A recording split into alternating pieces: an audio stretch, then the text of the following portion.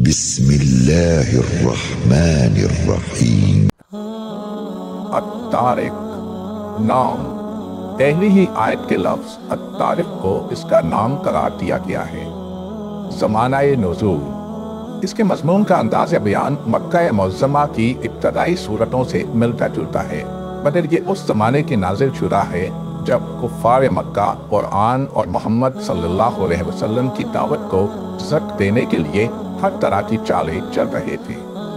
मौजू और मजमून। इसमें दो मजमून बयान किए गए हैं। एक ये कि इंसान को मरने के बाद खुदा के सामने हाजिर होना है। दूसरे ये कि कुरान एक औल फैसल है, जिसे कुफार की कोई चाल और तदबीर जक नहीं दे सकती।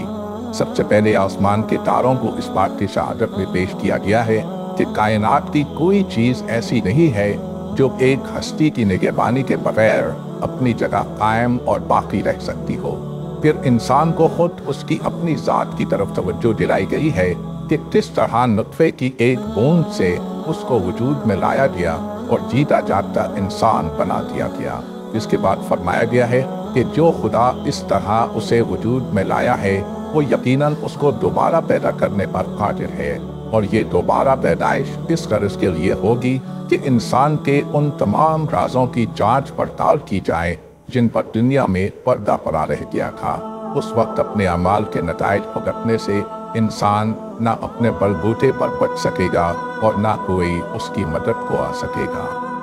खात्मा कलाम पर इर्शाद हुआ है कि जिस तरह आसमान से बारिश का बरसना और ज़मीन से दरख्तों और फ़सलों का उगना कोई खेल नहीं बल्कि एक संजीदा काम है।